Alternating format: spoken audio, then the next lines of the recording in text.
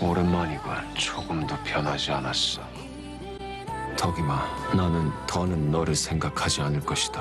정말 오랜만입니다. 의빈의 이야기를 하시는 건 전에 왠지 낯이 익는데 소신, 성가 국민, 어명을 받잡고 대령하였나이다. 아비 이름이 무엇이지? 신의 아비는 성가 시기라옵니다. 다스디면 의빈의 길이야. 衣袖红镶边，每逢星期一及二晚上十点，八度空间韩流精选播出。